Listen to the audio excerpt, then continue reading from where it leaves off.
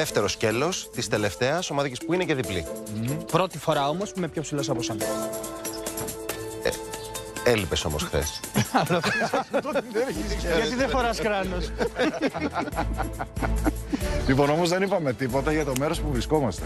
Έχουμε περάσει διόδια. Είμαστε σε ένα πάρα πολύ ωραίο χωριό. Έχει λίγο κρύο, αλλά είναι τόσο όσο.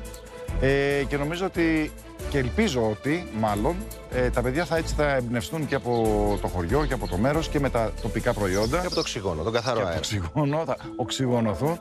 Οπότε θα τους έρθουν ωραίες ιδέες και ε, εύχομαι ότι θα μαγειρέψουν πολύ ωραία πιάτα. Έχουν και πολύ ωραία πρωτήλια. Ε. Κρέατα Σωστά. όσπρια τυρί είναι το ζητούμενο και είδα στους πάγκους πάρα πολύ ωραία Μα πράγματα. κλείσαμε το μάτι, γιατί και στο πρώτο σκέλος είχαμε πολύ καλή πρωτεΐνη. Εκεί που Κοίτα, έλειπες, στο μάτι εννοείς; Ότι- Πονηρά.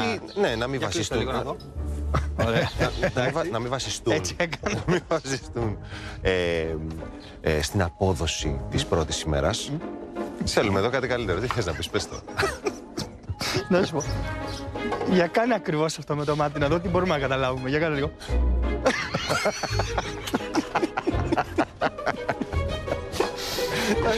You know what I mean? You know what I mean? Λοιπόν, για να σα πω κάτι, χωρίς αυτό να παίζει έτσι ρόλο στη βαθμολογία μας και στην κριτική μας, εγώ να πω και ένα ευχαριστώ στον Αλέξανδρο που τις τελευταίες τρεις ομαδικές δοκιμασίες βάζει και ένα μικρό κατσαρολάκι και βράζει λαχανικά και τον κίμωνα. μου τα μπλεντάρει και μου τα στέλνει. Και ο Λοιπόν, Ηλίας το κάνει αυτό. ε; Και ο Ηλίας το Και ο κάνει. Λιάκος, και ο Λιάκος. Λιάκος. Λοιπόν, εγώ νομίζω ότι ο καιρός είναι πάρα πολύ ωραίος.